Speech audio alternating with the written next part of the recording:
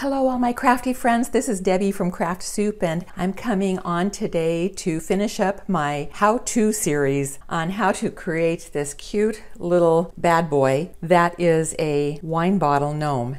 I make these at Christmas time. They're hot sellers for craft fairs People scoop them up as fast as I can put them out on the table, and they are a lot of fun to make and give away as gifts. They also make great hostess gifts. So uh, this guy is built on a wine bottle. If you haven't been watching my series, this is my display gnome.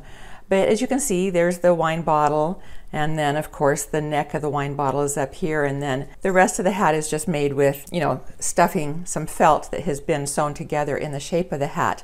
Speaking of the hat, if you haven't watched my previous videos in this series, uh, I've created and tested the shape of this hat with 750 milliliter wine bottles.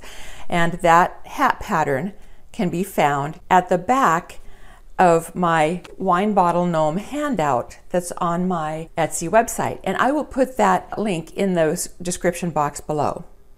In my video series, uh, creating this guy, the first video was on how to cover the wine bottle. The second video, I believe, was how to create the beard. The third video was how to actually cut and sew the hat.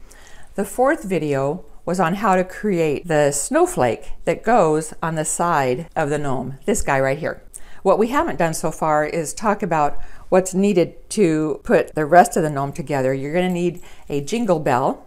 This is about a three quarter inch size jingle bell. And I get these at the Dollar Tree, but you can get them on Amazon as well. And if your jingle bells don't come with a little topper of some kind or a bead cap, then you might want to go to the store or go to your stash and get a little bead cap and glue it on the top. It really finishes off the top of the bell. You're also going to need about a one inch piece of wood. I'll put some links in the description box below about where you can find some of these things. So let's get started on how to put this guy together. The first thing we're going to put on is the beard. And what we're going to do here is make sure that we're looking exactly at where that back seam is. That's the back, so we want to go to the opposite side of the back, and we're going to move that beard right up to the top of the fabric. And we're going to center it so that it's on the front. I need to move mine over just a little bit. All right. All right, so that kind of tests the placement of it. Now, I'm going to take my hot glue gun and put a really good line of glue along the top flat straight edge of the beard. Okay. And then coming back to the wine bottle. Again, finding that back seam and centering this on the front, I'm just going to line up the top of the beard with the top of the fabric that I glued to the wine bottle and I'm going to press and make that glue harden and cool down. Now the beard is attached. Before you attach the hat, if you want to go ahead and take your pick, your hair pick, and just kind of straighten out the beard, that's probably a good idea. And then, as you can see with this guy, the hat sits on top of the beard. So let's do that next. Here's the hat. Remember, we stuffed it full in the arc of the neck. We stuffed it full with polyfill. And again, we want to match up the back of the hat, which is this side. Remember, the hook of the hat is the front, so this is the back. We're going to match this seam up, which is the back seam, with the back seam of the fabric that covers the wine bottle. All right, so you can see that that line comes right on down. Here's the stitching, and it comes down and it continues with the seam of the fabric. One nice straight line. I'm going to push this down as far as I think it can go without stretching the hat out of shape. Now what I mean by stretching it out of shape is if you're causing a lot of wrinkles right here, you might be pushing down on it too hard. But you do want to push down on it. You want to pull this down enough so that it's covering the top of the beard. All right, Then I'm going to turn this guy over and I'm going to kind of pull this the back of the hat up a little bit to create a little pocket in there where I could stick my finger. But instead of sticking my finger in there, I am going to stick my hot glue gun in there, oh, about a half an inch. I'm going to put a dollop of hot glue in there. And then I'm just going to take that seam and press in so that seam is touching the fabric of the bottle. I'm just going to hold it for a minute until it dries. Now notice that I'm also holding the sides of the hat down with my thumb and my other fingers just to hold that hat in place because that's where I want the hat to end up when he's all done. Now once this dries back here, this becomes the anchor of the hat. All right, so now we have our hat put on. The next thing that we need to do is attach the nose. And so this is what I do. I lay my gnome on his back and I pull up the front seam to create a pocket where I could stick my finger in. All right, can you see that? All right, so what I'm doing is I'm pulling this up. And when I say up, I really should be saying I'm pulling it out to create a space for my finger. But instead of my finger, I want to put that little wooden ball in that little space and glue him in. I want to find the best side of this little wooden ball and uh, what I'm looking for in the best side is the design of the grain. And when I say that, I mean, I just watch the grain. I like the, the grain of the wood to be going crosswise. I'm going to have this be the front of the nose. So I turn it over. I put glue on the back of the nose, a good dollop of it. All right. And then I switch hands. I go back to where the I had made a pocket in the front of the hat and I just stick that right in there. And I center it. Let me show you what I'm doing.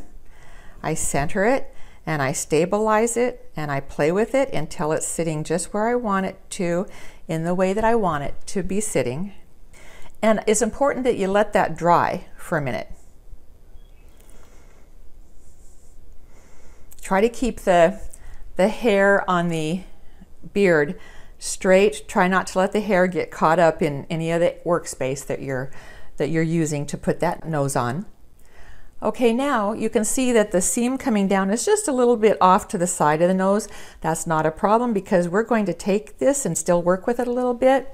And we're going to just adjust that alignment a little bit. And what I want to do is I want to put a little bit of glue right up there on the top of the nose now in that space and then stick the hat seam down. So let me show you how that looks when I actually do it. All right, I'm going to fold this back a little bit. I'm going to adjust the nose where I think I want it. I'm going to put glue on the top of the nose just a little bit, not much. And that glue is going to be hidden because now I'm bringing the hat down over that glue and this is where I'm making my final adjustment. Um, the seam of the hat is coming down right over the center of his nose. All right, I don't know if you can see that. And it looks good. So he's got a little button nose sticking out there. And I'm just gonna give it a chance to dry. Okay. The next thing I like to put on is his star snowflake. So all I do here, this is so easy. On the back of the snowflake, this snowflake came from the Dollar Tree and I had to glitter it up. Um, and you'll want to watch my video on how I did that. But I'm going to put a little dot of glue on the six bases around the center of the snowflake. One, two, three, four, five, six. Just make sure that that's got plenty of glue. Not too much though that it's going to ooze out. And then you're just going to position the snowflake where you want it on his hat. There's really no right or wrong place to put it. It ends up where it ends up and it's going to look awesome. Finally, I want to take this jingle bell. I want to hot glue it up there at the end of the hook of the hat. There's a hole in this bead cap right up here at the top. I'm going to fill that hole with glue.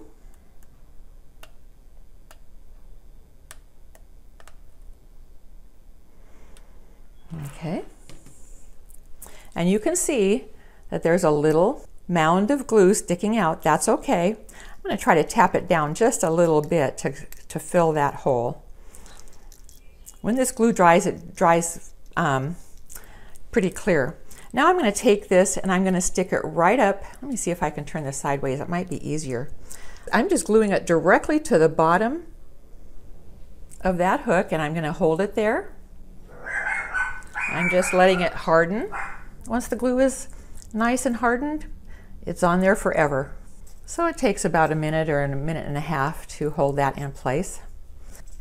And there it is from the front. Now, if you find that the jingle bell isn't sitting exactly in front of this seam right here, then just take your hand and play with that padded top of the hat and you can line it up very easily. So there is our finished gnome. Now, if you want to take your pick, your hair pick, and start creating his beard, that's just fine. It's just so easy to do. I'm doing this left-handed and I'm a right-handed person. But you can just move the hair where you want it. Make it look like a little gnomey mustache and beard. It's so fun to make this guy.